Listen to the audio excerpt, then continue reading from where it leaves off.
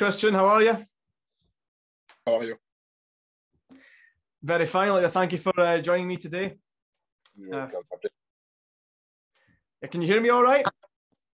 Yes, I can hear you all right. Yeah. You- Yeah, you can hear me fine. Yeah. All right. Okay. Perfect. Um, if you want to just uh, dive straight into it, then. Yeah, let's do it. All right. Okay. Perfect. Uh, Christian, growing up, I believe your uh, boyhood club was Marseille. Are they still your team today, or does your career change any of your allegiances? Oh, you make me look like a traitor. Uh, yeah, agent. Has changed.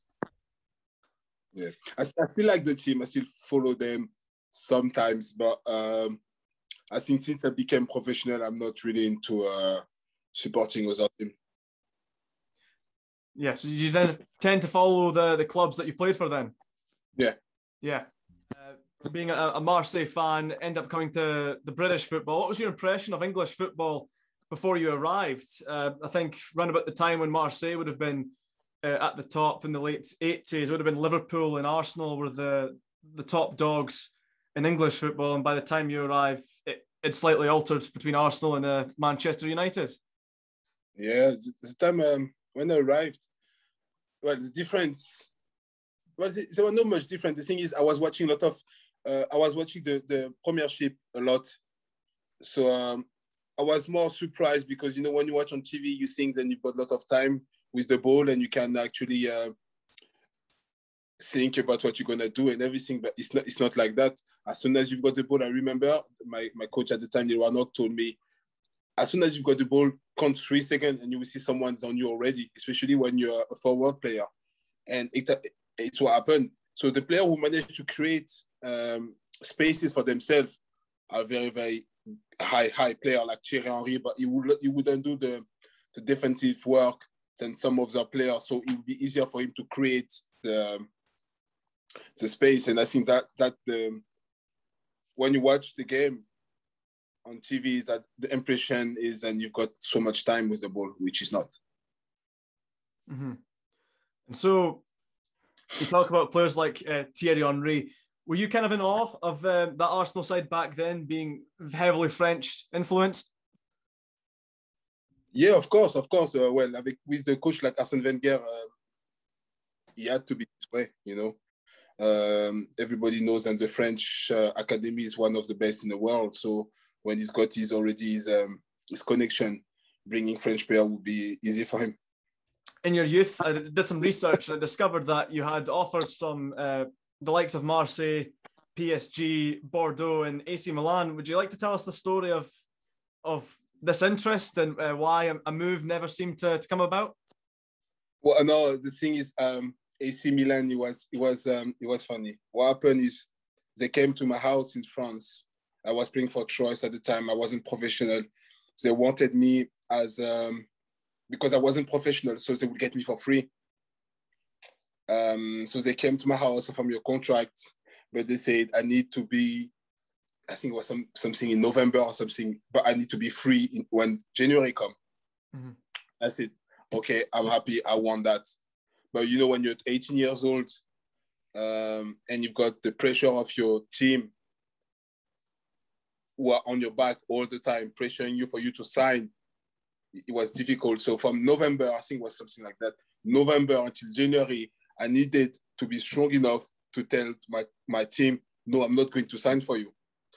And what they've done is they, they, um, they put me in, a, in a, well, I was on my own. So after every training session, the coach will uh, ask me to come in his office. If it's not the coach, it's going to be the sport director. If the sport director is going to be the chairman. I will always go into the office and pressurize me to sign. And I always try to find an excuse. The excuse was, um, my, my mom is in Ivory Coast just now. I'm waiting for her to come back. When she's back, I will sign for you guys. so every day they were putting me under pressure and they were treating me like a king, to be fair. Like um, when they were hard session, say, Christian, you don't need to run, just go on the side. Because they wanted me to feel happy here and sign, which I was happy. But my my head was to be in Milan, in Milan. But you know, and I've made a mistake. One day they phoned me and say, "Oh, Christian, uh, so what do you think? Uh, are you happy with your contract?" And I said, "Yes, I'm very happy, but I'm still um, uh, my mom's coming tomorrow. And say, oh, so your mom's there? Okay. And then uh, they say, okay, uh, bring, we make your mom come. And my mom came in and I said, mom, I don't want to. I want to sign for, for AC Milan. And she said, you know what, Christian, you owe them that. They were with you when you were 15. They helped you to become the man that you are, and you owe them to sign for them. She's a Christian. She's a Christian. and I say, oh my God. And my dad was like, not too happy, about there. That's why that's why I signed there. So was it more to do with your your mum's influence then, or did her words kind of get through to you and you think, yeah, I kind of do owe them something back? For giving you the, the platform, of course. No, it's my mom. Of mom. course, I, I wasn't. Um, it was it was it wasn't bad, you know. It was the club helped me to become the man that I am. They they they've, um, they've got a great academy and my friends there and everything. So no, it's not it's not something bad, but now if you ask me to choose, I would have say I should have went to meet AC Milan. Mm-hmm. You know, when you've got the background as an AC Milan player, it will open so many doors for you. Even when you've got AC Milan on your CV, it changes everything. You know, mm-hmm. you, you can't play uh, the, with all my respect, right? you can't play for AC Milan, uh, even though you play five games or ten games in the season, and the week after and uh, the season finish, and then you see yourself signing for Ross County. Yeah, you understand? With all my respect with Ross County, mm-hmm. but you might sign a team like Rangers or Celtic, despite you haven't played much. It's just because when you've got a thing like this on your name, you open so many doors and usually big doors. I know exactly I mean. I think people have the same feeling in Scotland when it comes to the Rangers and Celtic. If you're in their youth academy, it opens doors in, in Scotland that they're willing to take that chance on you. Exactly. Uh-huh. So the the move to AC Milan doesn't go ahead. Uh, is it true that there were talks for you joining Bordeaux? I think I, I researched something about you being uh, given the prospect of having a partnership with Marouane Chamakh. So what happened is when I've done, I, I had a good season with uh, with Troyes. I was end of my contract. Um, um, agent for me and say, look, there's two club who might be interested. Says, um, what's his name? Um, oh, he used to play for Rangers. Striker used to play for Bordeaux. Um, oh, I forgot his name. He was so strong. He was meant to sign, uh, I think Rangers. He was leaving, and they said they want they want me to be the second striker just behind Chamakh. It was Darcheville. So they ah, say yeah. I've got the same kind of uh, games and Darcheville, so they wanted Darcheville. Darcheville was meant to go to Rangers, so I was meant to be the second striker behind Chamakh. And there were also, I think, Marseille was interested in, in a couple of other teams. And uh, my team offered me a, big contract, was the biggest contract of the club at the time. I declined the contract because I those uh, clubs were interested. And two days after, uh, I've been told that those clubs are not interested in anymore. Just pulled away their interest. Yeah, no more interest. I told those clubs just step back. So um, I went back to I went back to her um, to my club and I told them that I accept the contract they signed me. Did you ever find out why the interest was was pulled out then? seeing that that seems such a very bizarre change so of the, agent, told me and um, the club contacted contacted those clubs and spoke told them stuff about me. All right so they they somewhat uh, sabotage then? Yeah. Yeah, yeah it happens uh, from football yeah. Uh, yeah, you have a nice time in France. It opens the door to sign for Sheffield United in the in the Premier League. We've just talked about your impression of English football before you went there. So tell me, when you first arrived at Sheffield United, uh, did did you find Neil Warnock an intimidating character? The first time I arrived in Sheffield, uh, just before I signed, I was in his office with my agent and uh, uh, someone else, and obviously I couldn't speak a word of English.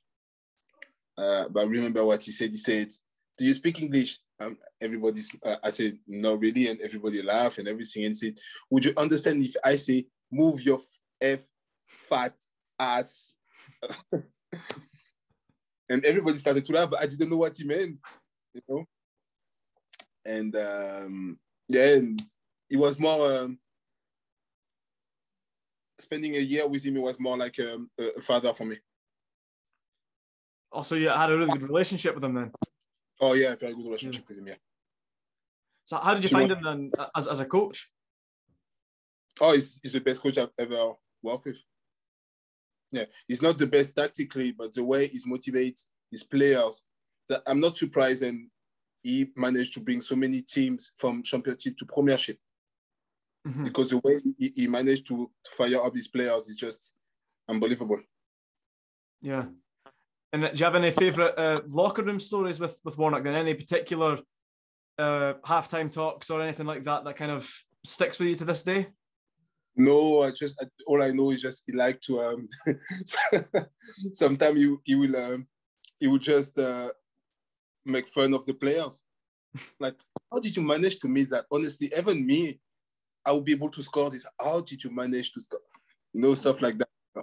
Nothing um nothing crazy. He loves to scream, but it could be like screaming and then two seconds after speaking so nicely, he can oh. just like, like this. But it's, it's, honestly, as soon as the game is finished, he'll be the first one to say, guys, let's have a pizza.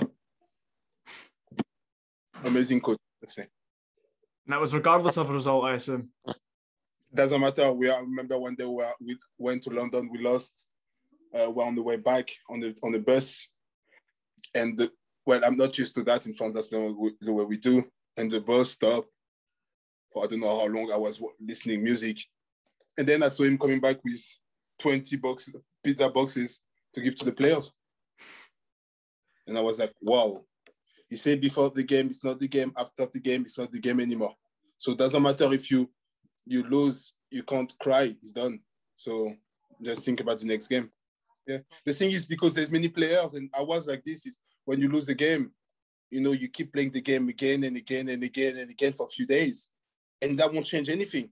And sometimes, you know, like I played in England in 2006 and we're in 2021, and they're still seeing um, images, and I keep playing back to my playing in my head. Saying, if I would have done that and I would have scored that day, we wouldn't still be in Premiership. Mm-hmm. You know, and that doesn't help you. Yeah. So looking back then on your Sheffield United career, Christian, is it fair to say that the biggest highlight was your um, your winning goal against Arsenal? Yeah, yeah, yeah. Of course, of course. But I think my it's my favorite of of my career. It's my favorite time of my career. But just being in the first 17 on the first game of the season for me was was a, a big, big, big achievement. You know, I was I came as a I think seven or eight striker in the team, and I managed to to um, to win the coach over after just the preseason, and I managed to be the fourth uh, striker of the team just uh, the day of the the league start. And for me, that was a big, big achievement, and I managed to make the bench on the first on the first day of the season. So that was a yeah, that was a big reward for me. And I'd, I'd seen a story regarding the Arsenal goal. Is it true that you didn't expect that you were going to play that day, and that you had a, a McDonald's just before the game had started? Yeah, yeah, yeah. Did, did Neil Warnock ever find that out? No, no, no.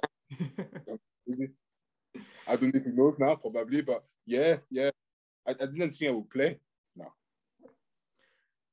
Well, your time at Sheffield United then comes to an end. Uh, you move up the border to Scotland. Uh, how did your move to Hearts come about? It's Neil. It's Neil Warnock um, who pushed me to go there uh, because he was about to join uh, Crystal Palace and he said then uh, he wanted me to join with him in Crystal Palace in January, but I need some first team game time. And um, and he said I should go to Hearts, sign a three years deal, and then as soon as he get uh, the, the job, he will buy me from them. And uh, that's what he's done. He, he, he, made an offer, and I was meant to uh, to join him, join him, but um, the owner at the time didn't let me go. Oh, so they knocked back the offer then? Yeah. Yeah. Uh, three times. Yeah, was that quite a was that quite a crazy period at the, the club's time then? I'm not awfully knowledgeable when it comes to Hearts, but I, I feel like I've heard of the some Romanov stories in the past before. It was it, it was unique. It was unique. Mm-hmm. It's not something that you will see in uh, in many football t- clubs. It will impose some player to play. Influence is when you influence someone is still when you give the choice to the person, you know. But it's not influence. It's telling you. Uh, all right. So he was uh, commanding. Then he was demanding it. If he's not playing, you'll be out of your job. Oh wow. And you obviously you got a lot of grief from uh, from the Hibs fans when it came to the, the Edinburgh derbies. I had a little look at your record, and I think you've scored against Hibs more than any other uh, team in your career. So do you feel there's a bit of a, a justice to that? Yeah, like I said in a few interviews, they give me the motivation. You know, when someone hates you, hate you all you want. Sometimes it's just to to give them payback, and that's the only way I could do. I wish I had this uh, this uh, fire up like against every team, but against them, I just needed to prove something.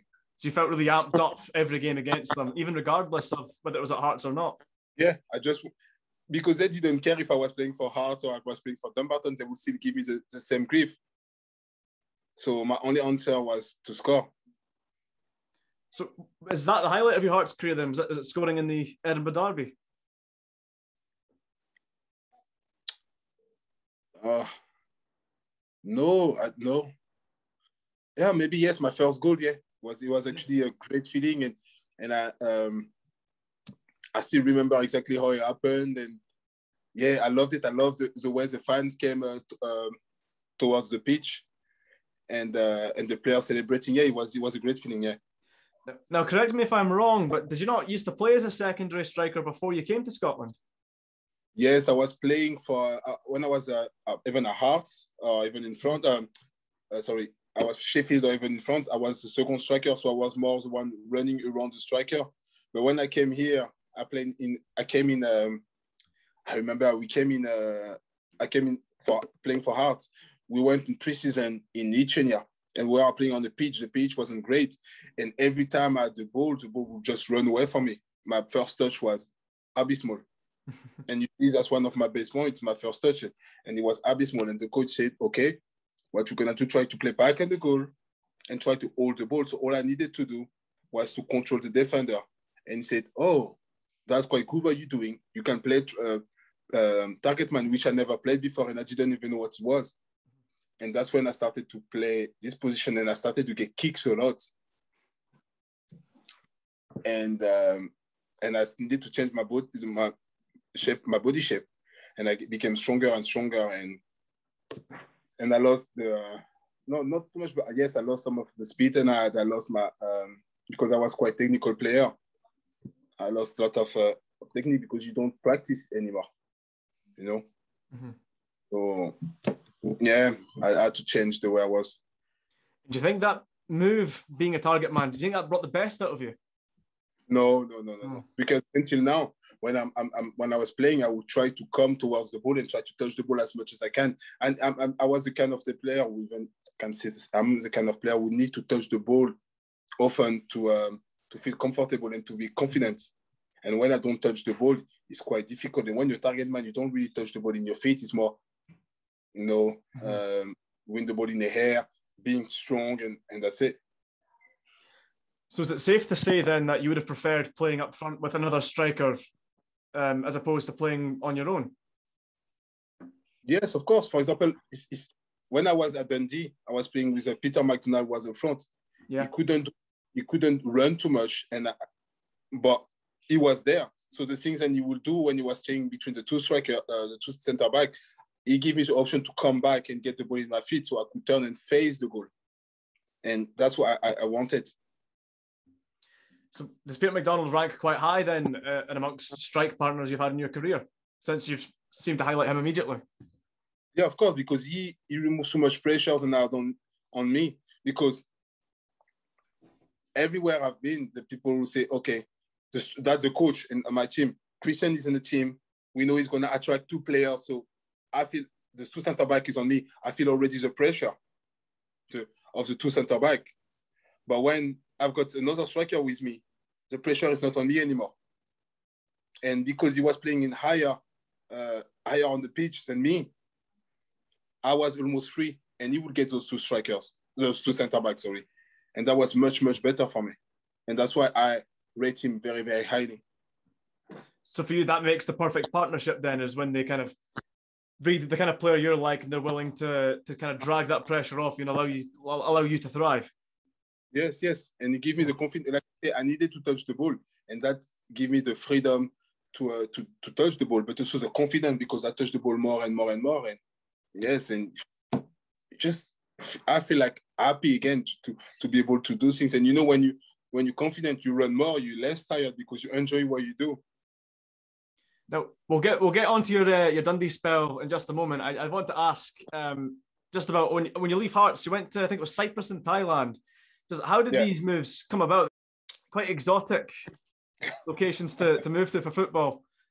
Yeah, it was um, it was it was different. It was different. Um, it wasn't the the the how you say the, the trajectory that I should have. Yeah. Uh, but um, yeah, how it happened I was meant to sign in Denmark. Something up, something happened, and it didn't happen. And I was in London uh, for a couple months. And an agent phoned me and said, "And there's a team in Cyprus who will be interested to have you on board." I said, "Okay." He sent me the contract. I signed and I flew in Austria because they were in president in Austria. Mm-hmm. It didn't really work out because I wasn't. Um, I was injured a lot when I was there, and also for me, it was it was very difficult over there. Um, then uh, my, they stopped my contract in January, and uh, and then I went to to few few countries, didn't work out, and someone for me and say, I've got something for you in in in, uh, in Thailand. Would you want to go there? I say yes. I was about to stop, so yeah, but yes, I'm gonna give you a last shot. And I went there, and it went well, and so I stayed there two and a half year. Was the standard of football in Cyprus and Thailand better than you'd expect? Oh yes, yeah, yeah. Yeah. Yeah, yeah. I wasn't expecting that yet. It was very, very it, like I, there's a lot of Brazilian players and and Argentinian and so there's yeah there's a lot of players from South America. So it's quite technical. Mm-hmm. It's quite technical. Yeah. And moving to Thailand was that a bit of a culture shock being on the because it's almost like a whole different world over there in that side of Asia. Yeah, of course, of course. It's, it's nothing that I, that I knew, so it was it was quite difficult at first, but with the heat as well. Is the heat is just so so it's very very hot over there. But once again, the the the, the, um, the level was quite good.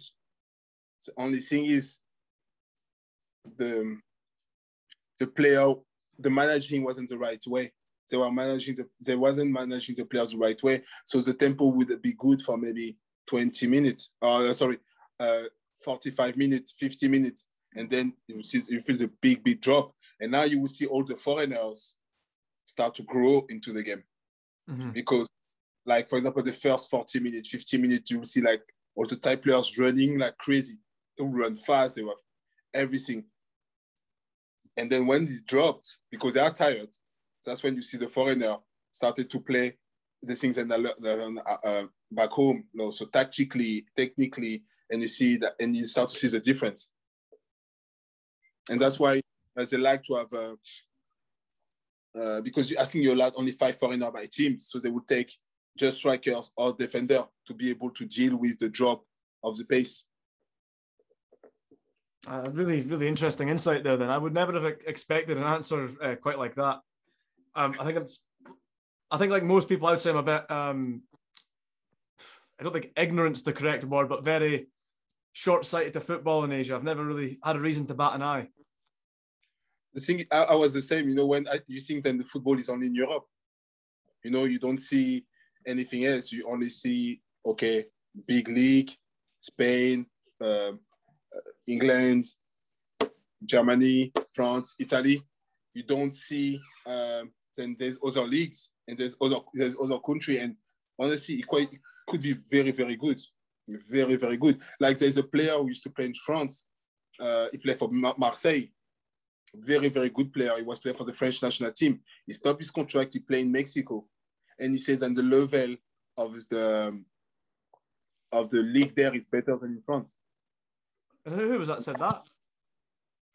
I forgot the name of the stri- I forgot the name of the striker. He used to play for Marseille. I think he's the only French player playing in Mexico, so it's easy to find. But he's a striker. He used to play for the French national team.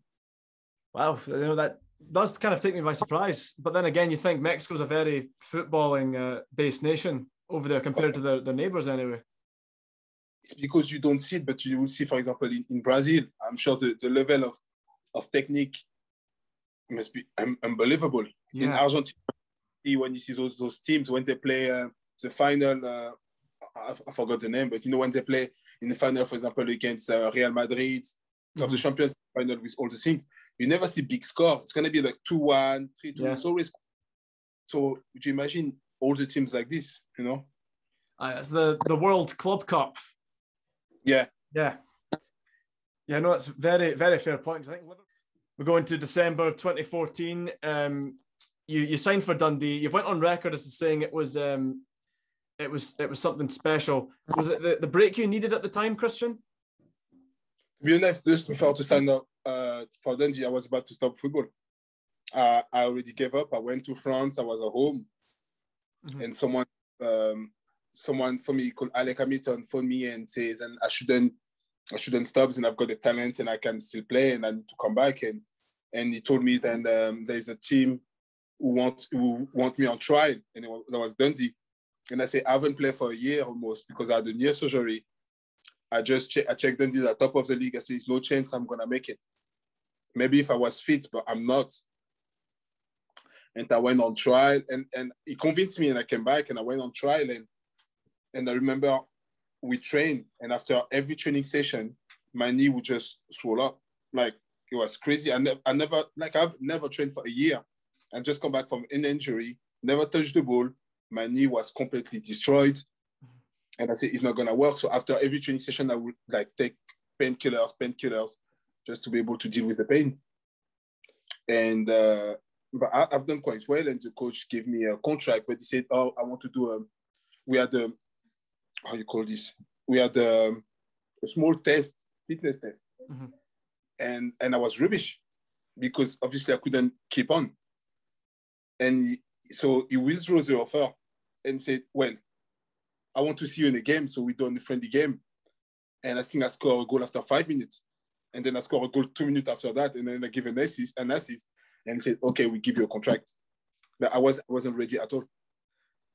So was that a lot of pressure then going into that game, thinking that you've got the opportunity to win a contract based on this on this friendly?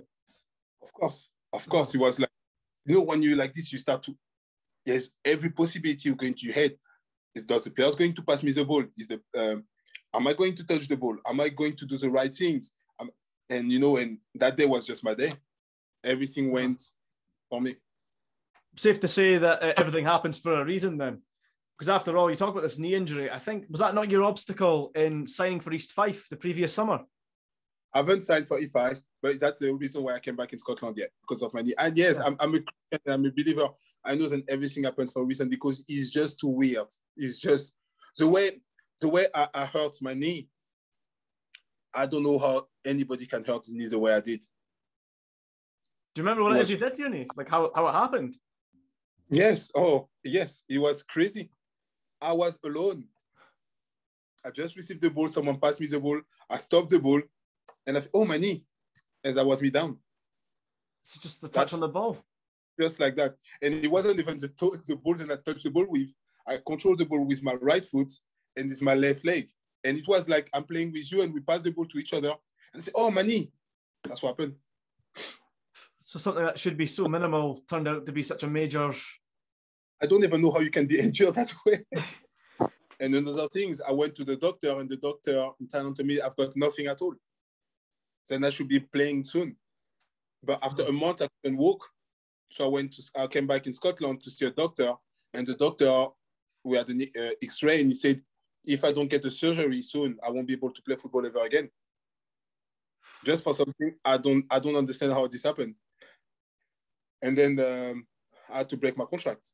Well, they wanted me back. They wanted to do surgery. I, I declined. I said I'm gonna pay for my own surgery here, which I did. And uh, and I said I told them that I need seven months till I can play again. And uh, they wanted me back there. I said, I'm not going to be there for seven months doing nothing, so I'm going to stay here. And I would like to, to stop my contract, which I, and I did. Well, you said that when you came to Dundee, though, you didn't feel like you were ready because of the knee injury obviously taking painkillers, playing the friendly game. I think Craig Beattie and Peter McDonald were both injured at the time when you signed. So Yes. despite yeah, so despite this injury, were you sitting there thinking like, you know, I might not be ready, but I could still be jumping straight into the first team here? I was honestly because they were not ready. I was so so scared. I remember the first game was seeing was uh, against Falkirk Mhm. and away on the Astro, and I'm like, how I'm gonna make this? And it was, and I think the coach substituted to me after uh, 45 minutes or 50 because I could, I just couldn't. when I wasn't fit, and my knee was was killing me. Mhm. So yes, I was, I wasn't the, the good way to start. No, that was uh, John Brown would have been the manager that signed you then. Yeah. Yeah. How how did you find him then to begin with? You, if you come in unfit, uh, struggling, was he quite sympathetic to that, or was he a bit more? Never knew. You never knew. No, I never told anybody. They wouldn't have signed me they knew that I couldn't run. And my knee was too sore. So I never told anybody. Oh, so managed to go through the pain and keep it under the rug completely. Yeah. Oh wow. Yeah. So when you when you looked at Dundee top the league, was that what made the prospect of coming Dundee uh, attractive to you, or was it maybe just the the idea of returning to Scotland? No, like I said, the fact they were top of the league made it even harder for me to come back. Because I wanted to stop. But I said, no chance. I don't want to go and humiliate myself and play for a team where top of the league, I can't run, I can't uh, bring something. So the only things I could bring to, to Dundee is just to make them lose their first place. You know, they're already top of the league. They can't go higher than top of the league.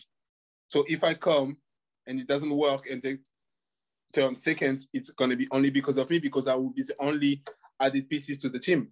So I had this extra pressure. So no, it, was just to come back to football, and and because he went, uh, the the coach, I remember he came to me and said, Christian, I don't need you to run everywhere. I don't need you to do those run. I only need you to be in the box. Your presence in the box will be enough for us. So I just need you to be in the box, and that's when I felt like he don't expect me to come and hold the ball and run there and do those run. He just want me in the box, and he make I felt so so much better after I spoke to me. So when you when you joined that Dundee team as well, as we said, top the league, obviously goes on to win the championship title. Um, how did you how did you find the team both in, on a playing level and in terms of the togetherness of the group? Did, could you tell right away that it, it was a potential title winning team? Well, we're top of the league, so yes. But honestly, the way we were playing, we were strong everywhere. We were strong in defense, quite easy actually in defense. Our midfielder was like dogs; they could run forever. And we knew, and uh, when you've got a striker like Peter McDonald and Craig Beattie, when he's fit, who can run, he can score from nothing. You, you've got a big shot there. Well, I've actually got both shirts you would have played in in uh, your Dundee career, Christian, right behind me on the, the two Americans league winning campaign. Uh, do you have a favourite shirt between the two? I like the dark one. Dark one. Yeah. Home kit's your favourite over the, the light one. Yeah, I prefer the dark one. Yeah. But is that a shot was one we played that year? Yeah, this was the championship winning shirt. Okay. Yeah, but I prefer this one definitely. Yeah.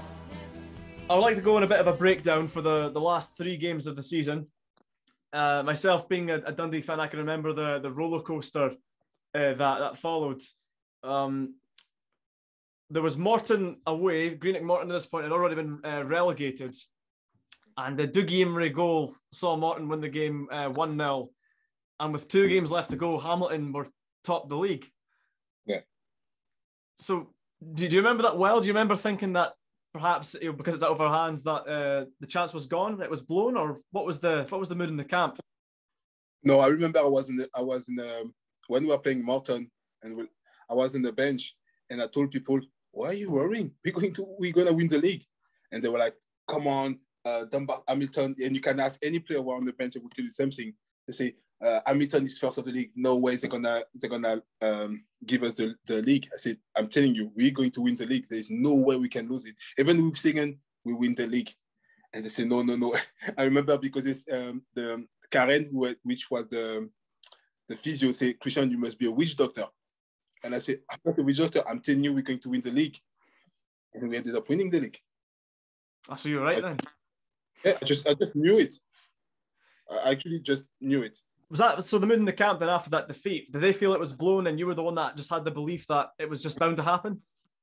I don't know if it was blown, but for me, I did, I didn't have any doubt and we will win the league. Mm-hmm. I knew some people were thinking, "Oh, it's going to be difficult." I Hamilton, but I said to my, I told them, "Don't even worry." And I remember I used to come in training and, and laugh and say, "Why are you so happy?" I said, "I know we're going to win the league. Just relax."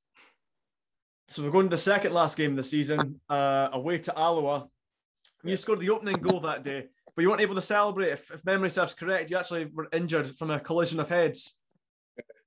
So, yeah. do you remember it final well, or was it too big of a knock in the head? No, no, no. At the time, I couldn't remember. I just remember I was a ball because I remember then Peter uh, Pizzo was saying, then he's the one scoring. And I said, look, man, just go away. I scored the goal. Uh, but yes, I think I don't know who kicked me. I don't know if it's the goalkeeper or someone. I don't remember exactly. I just remember scoring and uh, being on the floor.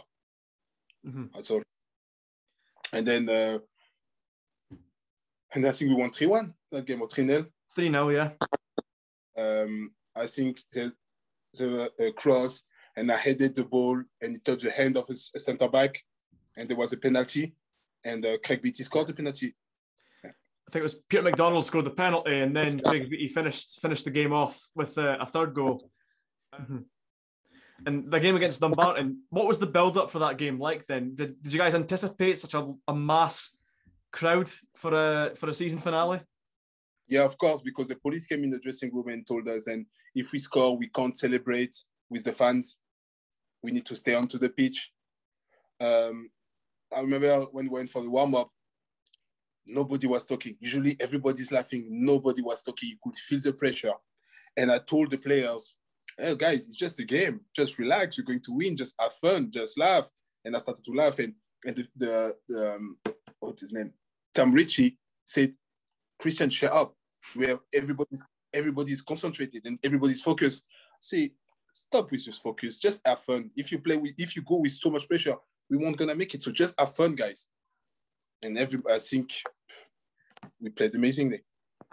It was a cup final scenario, really. It had to be a, a must-win game to ensure the the title. we know that in hindsight, anyway, because uh, Hamilton had their colossal victory against uh, Morton. But you know, we go into the game. There's an early lead. Uh, you score a header, wild celebrations. Uh, we go into half time with a comfortable lead because Pete McDonald scores the second the the second half wasn't so smooth sailing though as it should have been. So do you remember feeling any pressure in that sec- second half? What I'm trying to say is, what do you know about the Hamilton result after you came off, or did you feel the pressure on the pitch, knowing the I Hamilton result? So what happened is I had the thing with Craig Beattie, so I wanted Craig Beattie to play. So a few times when I was playing, I would pretend to be tired, so Craig Beattie could play. So when we are winning, and I say, okay, we've got the game, I'm gonna let Craig Beattie play. So I came off the pitch and then I realized then they are trashing, trashing uh, Hamilton. And I was like, oh, that's gonna be tough. Mm-hmm. But we managed to uh, to win. But yes, the pressure in second half was was crazy. Yeah, what's your memories then of that header scoring the wild celebrations? Where I want to know where does that goal rank from the goals you've scored in your career? Best goal. I told them yes. Um, um, the goal against Arsenal was amazing. It's a big team, and but this is uh, something like I can't describe. The, the the joys that I managed to to give to other people and to me and my teammates, it was just amazing. And actually, I don't even know why I ran towards the bench. just maybe because unconsciously I know the police told us not to do it to go towards the fan. But if you ask me today to do the same, I will run towards the fan. I, I would run into the stand, 100%. Yeah, you had quite a special relationship uh, with the fans. Uh, you've went on record to saying that you've never felt anything like this before. That you love, you love the fans, the pitch, and just being at Dundee. Is it fair to say that you you somewhat fell in love with the club? Oh yeah, hundred percent. And I felt so good over there. I was happy. I felt the love from the fans, and I, am sure they felt the love uh, that I could give as well. Um, yes, I was happy there. I was actually about to to move there. You're getting ready to move properly. Dundee, yeah. Yeah. and lifting the championship trophy on that final day against Dumbarton. In your in your career, how high does that rank? Oh, top. That's the top. But the only league that I won, so yes, of course, on top. Yeah. Sure, very proud of that uh, achievement, no doubt. Yes, you know, you you proud, you are you're part of something. I'm part of of the history. So yes, of course, I'm happy. Well, I know the fans would have been very keen for you to stay. Yourself would have been keen to say. Ultimately, um, the decision was made. It wasn't made by me. Wasn't made by you, no. I was on the way to a city hall and I saw the the, um, the fitness coach and I saw something on his face, like he wasn't the way he used to be towards me. And I'm like, is there something wrong? He said, no, no, nothing wrong, Christian. Just go. And I felt something. So we done the city hall and everything, but this keep playing in my head, in my head the way it was. And when we came back, and then when the coach told me, I was like, wow. And when I went back to uh, to the car with the boys, uh, Benedict said, "Oh, Christian, you've been offered. I'm sure you've been offered a big contract. You must be so happy." I said, "Released." He said, "No, stop, stop pretending. You know, I'm being serious. I've been released." He said, "Everybody can be released, but you." I said, "I'm telling you, I've been released." Uh, looking back on leaving Dundee, do you see it more as a positive than a negative now? Like, do you feel happy that all right, well, you left, playing your part, leaving a legacy, playing a part in the, uh, a crucial point in the club's history, or do you look at it a bit still a bit better that I couldn't go on longer than it did? No, of course I, I, I was better. Of course, because you know I, I, I, felt like I didn't finish what I started. Mm-hmm. Um, yes, we won the league, but after you know the, the thing is is confirm what you achieved the season before. So going in Premiership and just stay up, and and obviously everybody want to play in Premiership. So yes, of course I was I was gutted because I I actually gave everything I had. I gave my soul. Like after and you can as any player before every training session I was in the gym just to, to get and after training session as well mm-hmm. every day just because I wanted to, uh, to to get better for the team for the club for the fans for the players and and be taking this this um, opportunity for me it was quite it was difficult and I'm not gonna lie at some point I said if that's football I want to stop again because I gave my my my my whole and it's not enough I want I I loved Hearts and I love playing for Hearts. But the thing I felt in Dundee was something different, and I wish I could have played much longer than this. Mm-hmm. Well, I'm glad you touched up on the the whole gym scene because I do have a question in regards to that. Um, because you come across as a very physical player, you know, you surely must have balanced the the gym work with the training. Um, so how how exactly did you manage to balance you know the the gym and training at the same time? All I tried to do was try to, uh, even though I didn't have much, I just tried to say it, um, reduce the body fat, and be actually uh, work on the um, on my speed. So I just needed to work on my low my low body. So um, obviously I had the surgery with my knee so I needed to strengthen my, my leg and uh, also uh, work on my abs mm-hmm. so I could be much, much faster. And I've got two small things about this is the player in the team never thought I was fast until we played against Morton. Uh, the game we lost against Morton. They didn't know I was fast before that. And they say, yeah, they say, oh, we didn't know you were that fast. I said, because usually I don't need to, to sprint you put me, you ask me to stay in the box, so I'm in the box. I don't need to sprint. And um, and they say, okay, so the farthest player in the team now, it's um, what is I forgot his name, playing for Hibs now. Um, help me, please. Playing for Hibs, uh, Martin Boyle. Yeah, Martin Boyle yeah. was the fastest player, and then after him was me. Oh wow! Which, yeah, which uh, when we first first arrived, they say I was one towards the last, but because he never saw me sprint. Was it was it quite was his talent quite glaring at the time? He was a good player, but not like you could see and he had potential. You see how fast he was, but he wasn't using it in the right way. And I think moving him to to Hibernian was the best things he's done.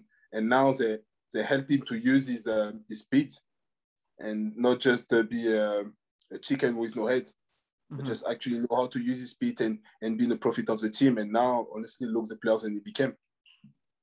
Uh, another teammate I would like to ask you about was uh, Gavin Rae. How did it feel to play alongside a guy like him. I'd like to pick your brains on because you know this was a guy that played at a very, very high level, very much affiliated with Dundee, and he of course was the captain for the championship winning campaign. Is you could feel like his his aura on the pitch when he was there. Yeah.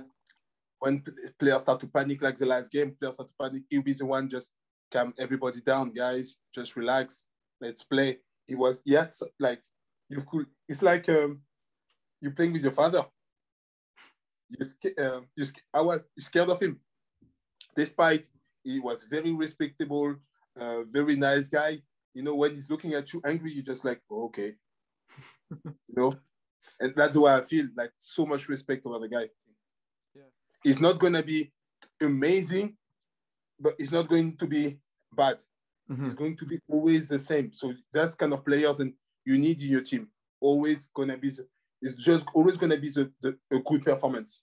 Mm-hmm. Not an amazing one, not a bad one. The performance and you need the, the full season. You've got a player like him, you know you're going to achieve something. Yeah, very consistent performer. Yeah. Yeah. At the time, there was a couple of youngsters coming through into the scene, uh, Cammy Kerr and Craig Wighton. Uh, Craig Wighton at this point, there was a lot of hype about him in the media. Could you see that there was something with these two that could spur them on? I don't know. The only thing I think with with him is with Wighton is the club should have kept him longer because he left too early. He left and he didn't leave. He left for a big big club, and because he left, he left for a big big club. The aspect action people were waiting was just too much for him. He's a good player, but he needed to develop he said took and in Dundee was the best place because he was at home. So people knew him. They knew what he was capable of. So mm-hmm. even if sometimes he had off day, we know that the player he is, and he is he's, um, he's learning from that. But when you play for a team like Hearts, you have to deliver. Doesn't matter. You need to deliver. Good day, bad day, we don't care. You need to deliver. But when you're a young boy, it's too much pressure. Mm-hmm. And I think he, if he would have stayed in Dundee two more years, three more years, he would have been able to develop. And now he's becoming a, a key player because he would have started so young, becoming a key player, and then going somewhere else, he wouldn't be surprised. But the thing is, the question is, you need to ask why is, is you think I think he's done so well for Hearts last when he was hard as hard for the last few months, mm-hmm. but they still let him go. Yeah. Why? You understand? Yeah, so there's something sometimes in the scene then we can't understand, we don't see because we are not there. But it's weird because when I could see for him, from him play, I, I could see goals. He was going like I think it's called brace, and uh, it's called. Uh, he was going like regularly, and then I saw him. He's going to Dunfermline, and I said, "How can they ask him to? Why? Why did he go?" Uh, but you still follow the the club's results? Yeah. Yeah. Yeah. I follow every every team that I played for well, I was going to get off to the fact that uh, three of your former teams on the same uh, promotion push. You're kind of obviously split on who to root for. Just want them all to do well, I suppose. There's um there's Hamilton uh, fans contacted me and asked me to to send a video to, for the players um, to show them I'm with them and, and for the fans and everything. And I said I can't do that. I, I can't because I play for Hamilton, yeah, but I also play for Dundee and I play for Raith Rovers. So I can't, I can't, I can't do that. I had a great time in three clubs and I had three different relationship with those three clubs, and and I can't do that. I wish the best team won, you know. Mm-hmm. Uh, Dundee making the playoff final. At the time of this recording, Dundee have just managed to see off uh, Raith Rovers over the two legs of the playoff semi final. Um, you, in your opinion, do you think Dundee have got what it takes to to get over the, the, the finishing line and push over Kilmarnock to win promotion? I think every teams on their day can win but every players need to give their all. You know, it's, mm-hmm. it's football. Tomorrow you play against Rangers and you can win, even though they never lost a full season. You know, it's, it's just the day who turn up, you or your, your brother.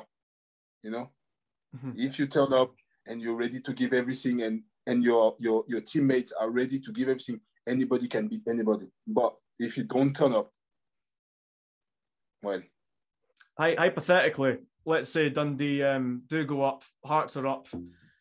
Um, this is Raith Rovers' first season back in the Championship since uh, promotion from League One uh, last season. Would you consider them favourites then for a promotion push next season? No. No. Why would I? It's, it's football. I think the people would like to give uh, or their favorite. No, it's football. You don't know. You, you, know they can have a bad start and then come back from a bad start, like Dundee had a yeah. really bad start, and then they managed to. Uh, I think they finished second. Yeah. So, yeah. And they, I would never thought that they would finish second with the start uh, of the season they, they had, and they managed to come back. It's, it's, it's football, you know, and especially in championship, it's difficult. You play against part-time team, which play against players who's so hung, hungry and want to be um, in in a full-time team. They will give everything. So that's why people crit- was criticize, criticizing Dundee and Hearts to lose against part-time team. But it's so hard to play against those teams. It's very, very hard. And especially the, the pressure and the fans, the clubs and the media put on those players because they expect them to win easy against a part-time team. It's just too much. And sometimes it's hard to, to, to just handle it. You know, and what you the, the fans all they need to put in their head is we don't care about the way you play, we don't care about the way, but you need to win. That's all we expect you. We need to win. And if you don't win, we don't care. Get promoted. Mm-hmm. That's all we expect you. We are Dundee and we should be playing in Premiership. So I don't care how you're going to manage to do that, get in Premiership. But the thing is, Raith Rovers will say the same thing. Hearts, Hearts is the same thing. And you see, there's a lot of Hearts fans who are not happy about the way they played. But Hearts is in Premiership next season, so the job's done. Doesn't matter the way you manage to go up, you just need to go up the part of your career where you signed for Raith Rovers. I think you've went on record as saying that when you're at Raith Rovers, it was the fittest you'd ever felt.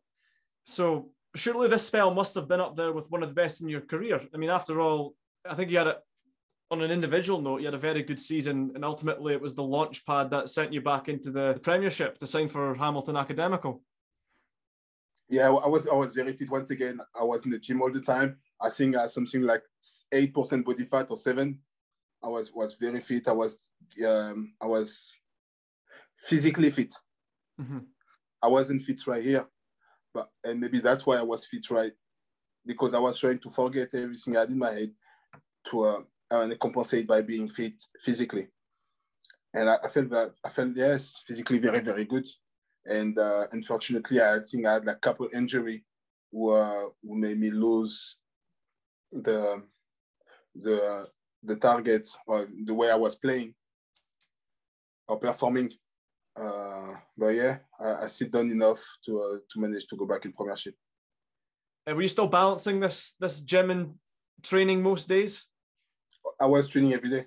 I was there was a gym as well when I was in Raith. So, um, like I said, after before training session, we'll be in the gym. After training session, sometimes we spend time in the gym uh, obviously it wasn't too much because you don't want to get big. It's just like manage to find the right balance to feel good, to not get injured, and uh, and that's what we've done, yeah. And that's what I've done. Fair to say that the highlight of your um, Raith Rovers career was the uh, 9th of February 2015. Uh, you scored the winning goal at Ibrox to knock Rangers out the Scottish Cup. Uh, Raith Rovers hadn't won there since 1959, so it was a it was a monumental result on the day if uh, memory serves correct, it was the Ryan Conroy that scored the first. And then yeah, you managed to, yeah. And then I scored the second. it was it was quite a, a, a shamble, but like I, I, said before, the ball was running on the line, and I saw it, and I just sprinted to it, and I would have put everybody into the net that day. The ball, the defender, the play, the goalkeeper, my own uh, teammate, everybody would have been on the way that day would have been fin- would have finished on the net. Now, just to compare this for a second, I might be totally blown away because it might it might sound a bit stupid, but if we look at the the goal you scored against Arsenal and then the goal against Rangers, is there comparisons to be made there, just in the sense of it's it's a giant killing that you can put your name on it? No, the thing is, when you score a goal, you score a goal. You know, you don't think about like the immensity of the goal or anything. Mm-hmm. You just score a goal. You're happy you scored. You're happy the team win. It's after when you think, oh, okay, we just beat Arsenal. We actually just beat Arsenal. It's a big team. We actually just beat Rangers. So it's it's not some. It, and the thing is, it's my, it was my first goal in England for. Mm-hmm. So it was my first goal in league. it's, it's something special for me. It was, I think, my first start as well, or second start maybe. It was it was something big as well. So no, you can't. I can't really compare the way I was feeling after the game. Towards the game, I feel the same in any goal. Yeah, I had, I had a feeling the answer was going to be like that. I just had to ask because I wanted to see the kind of gratitude um, that was there when because again Raith Rovers beating Rangers even now is quite a big concept, especially at Ibrox. And at the time, I can remember that being such a big result, especially being in a cup game too. Because I think I think Raith did all right against Rangers that season in the in the league. I think Raith kind of held their own. It was a very uh, difficult season, and I think you would have scored at Easter Road as well and got a result there. You know, Raith didn't finish in the playoffs that season, but they still showed that they could hold their own. It was such a very exciting that, season with so many so many bigger um, bigger fish that the problem is uh, was uh, that season is we played so well, we played so good games, we beat big teams, but we were not consistent. Mm-hmm. We could beat uh, Rangers, at Ibrox, and the week after, you go and lose a, a Queen of the South. Yeah, and you see like what happened there. You don't just because it's we are a good team, and I honestly from the back to the front, we are a very good team we have a lot of young players with not too much experience, and and and that's why I think Kildus were a good player. And look, they, they showed that most of the young players were there. Now they are big players, but at the time, it wasn't it wasn't that. But honestly, I don't think we played any team that season who actually came and said it was easy against us. We gave the game to everybody. Mm-hmm. But sometimes we didn't score uh, when we should have, when we were on top, or sometimes we, a mistake would have just caused the game, things like that.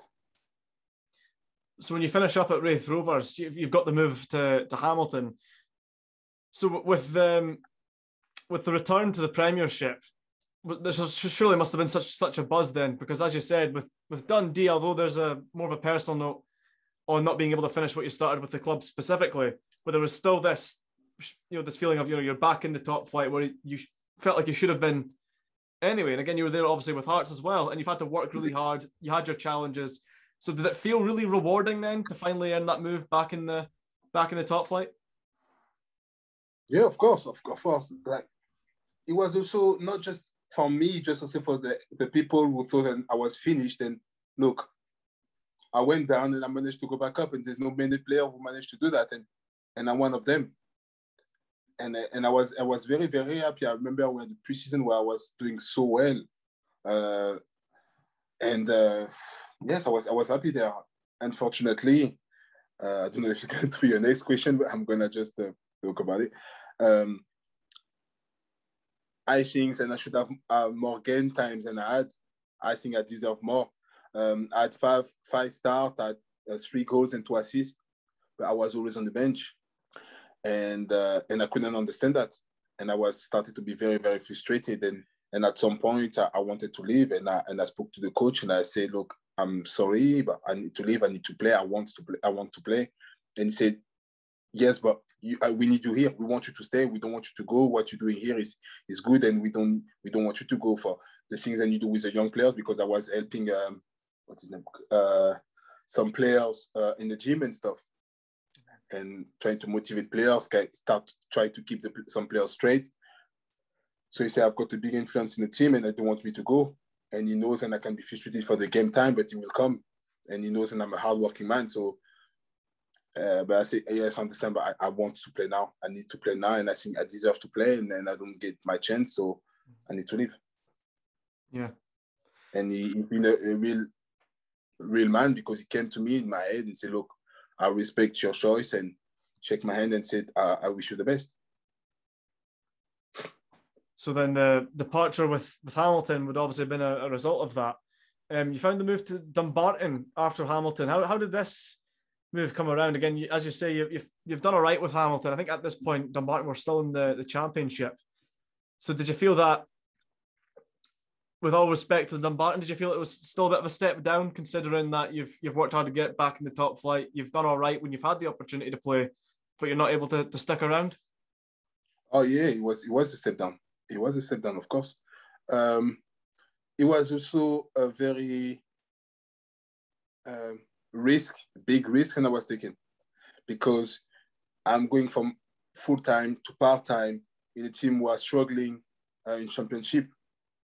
So if I and I remember the, the coach, the Dumbarton coach at the time, being honest, he said, Christian, if you we want you to sign, but we also know that if you sign for us and you don't do well, it's gonna be over for you.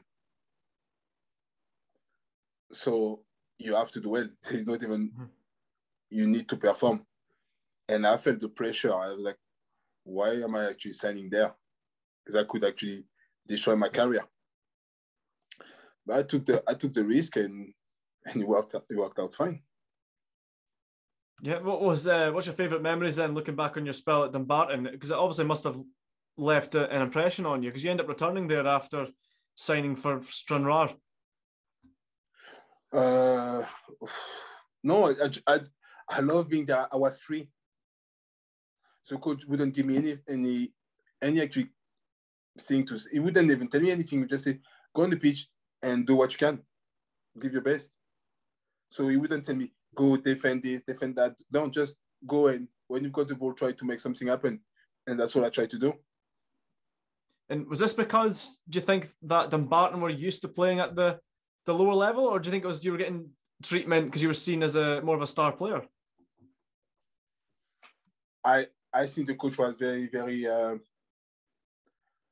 obviously he was very he was paying attention to me. He was really careful, um, also not to get me injured and not to get me too tired because he knew then obviously when before I arrived they were struggling. Mm-hmm. So I need to bring something different. And when I did, I'm sure I was thinking if I get injured or something, he could go back to those uh, those time where they were struggling and maybe um, uh, struggle for the relegation. So he was treating me very, very, very good. And uh, if I didn't want to train, I wouldn't train. And it, he was quite nice to me, laughing all the time. Um, so yeah, I was like a, a little star. So what, what caused you to leave Dumbarton the first time then before coming back? I don't know. I'm not gonna lie. I don't know. Mm-hmm. I don't know. No, no idea. I was. Uh, it was a mistake. Actually, actually, maybe it's because of challenges. Like I knew then with Dumbarton we wouldn't play for the title. We would play for relegation. We tried not to get relegated. Sorry. Signing for Stranraer would be trying to go back up, trying to go up. Sorry. Mm-hmm.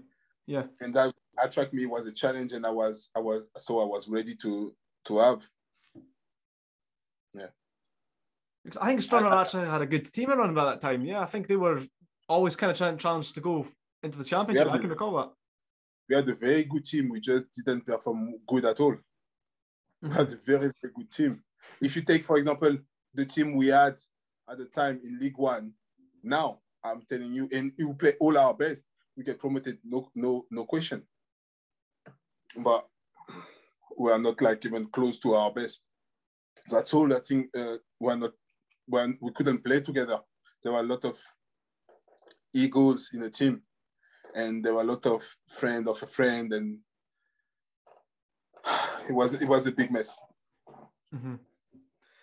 And you obviously uh, returned to Dumbarton afterwards. Uh, how did the second spell compare to the first? It was different because like I said, the first time the coach said, Christian, go on the pitch, have fun, do what you can, you know, help us. And now it was more like, we need you to defend.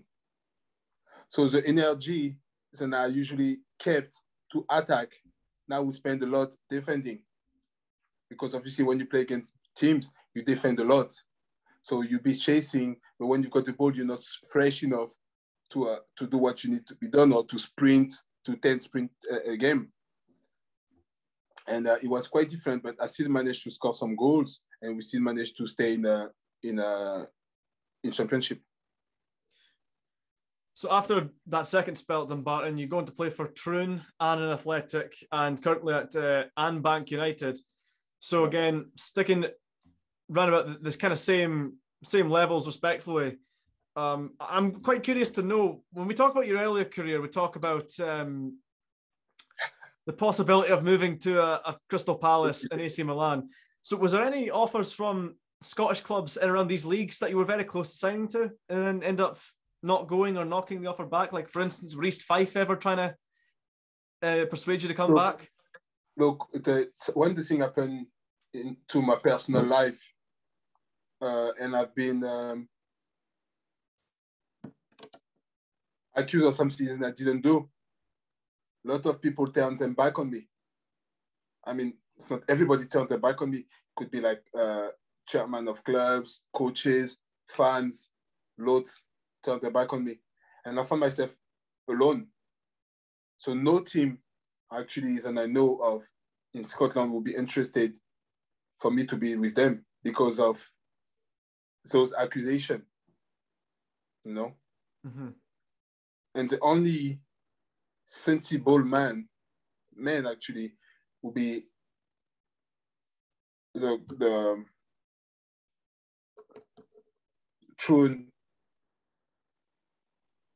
staff who contacted me and uh, told me that I'm not guilty until it's been proven. Yeah. They would like me to come and join the team, but obviously, if at the end I've been proven guilty, they will have to let me go. Mm-hmm. And that's the only person um, who, who, who, who told me that, you know. And and that really, really touched me. Like I say, everybody turned their back on me, and that's the only one who were there for me. Even some of my teammates who, who I was close to turned their back on me. Seriously? Yeah. And uh, on the back of an accusation as well. So it's someone that would know you quite well, wouldn't even give you the, the benefit of the doubt. Yeah, just stop talking. Yeah. I would talk, call them, text them, just ignore me. Yeah. Wow. Yeah. So how do you how do you find then playing football at your your current level? Well, I'm not playing. oh, obviously, yeah. But before before the pandemic, I should have I should have added. Yeah. No, it was it was it was good. It was just um, escaping again Mhm. uh, the mental prison I was in, uh, escaping the situation I was in, and uh, and I just I, I had a good time when I was playing because it was the only time where I was not thinking about personal things, and and yes, and and I had fun. Yeah. Yeah. And then for other people that might be feeling uh, similar to you, Christian, is there any advice you'd like to pass uh, pass on to them? just talk, just be able to talk. You just need to talk. It's nothing complicated and it can be hard, but you just need to be able to open yourself to someone. You just need to. Mhm. But it's, I know it's, you need to, it's a big, big, big things to do it. But once you do it, you know, then you are on the way to, uh, to hand this uh, constant prison then you're in your head. Well, I've just got one one last final question for you, Christian. Uh, again, doing a bit more research, I was very surprised to see that there were some players that you played with. I had absolutely zero idea. Um, at Troyes, you played with uh, Matuidi, uh, yeah, bless. that used to be at uh, Juventus. Now it's uh, in in Miami, I think, in the, the MLS, as, as as well as uh, Diarra at, Le, Le Havre. Is that how it's pronounced? Lassana, La Sana Diarra, Le Havre, yeah. Yeah. Yeah, Le Havre. So see with these guys, with these with these players that when you played with at the time, you could see that they had a bright future ahead of them. Yeah, yeah, Yeah. yeah. Especially last, last yeah. Mhm. Oh, he was so much. He knew. He like we are playing in, in, in Le Havre, second division in France, and he was saying he wasn't even a starter, and he was saying, "Hmm, guys, I'm going to play for Chelsea one day. You see, I swear it was crazy. You see. See, I don't care what the coach is doing. I don't care if I'm not playing. I'm telling you, I'll be playing for Chelsea one day. A year half and a half after he was playing for Chelsea. Not even. Is he the best player you've played with in your career? Then would you say? No, No. no, no, no. Patrice Evra is must be up there. And would that have been France under 21s? Yes, Patrice Yeah. Evra is up. there. Even Blaise is uh, is, is up there. Mm-hmm. Matuidi is up there. Uh, oh. Yeah, yeah, Blaze. Blaise must be right up there. And actually, he's a very lucky, lucky man. He managed to make a career when he shouldn't even be there. Honestly, it's, football is all about luck. Yeah, all about luck. Yeah, he's a very, very lucky man. And do you have any ambitions to get into coaching? Uh, I don't know. I don't know. Just now, I've got something happening in America uh, in July, so I'm going there. Um, and fortunately, I never passed my coaches badges. But yes, it could be something that I would like to do. I'm doing like one-on-one coaching at the moment. Um, I'm working with a, a, football agent, so we're helping players to find clubs uh, uh, in England. So that's what I'm doing just now. Should, ah, I should have took my shave and everything. You should have shaved me. right, Christian, it's been a delight uh, having you on. Thank you very much for taking part in this. I greatly appreciate it. Thank you. It was my pleasure. Sat up nicely for him. That's up towards Abua. Murray comes across, real chance, and they lead. They've scored a goal. The drought is over, and more importantly, Hearts lead at Hibs in the Scottish Cup. Well, Driver does brilliantly to pull it back from the byline. Makalambay, totally committed. Thinks he can go and smother this, stop it coming across goal. Look at the goalkeeper, never getting there. And Rob Jones totally exposed almost in the goal line. Chance out of nothing, great setup from Driver. And that is not going to miss from there. No, Makalambay.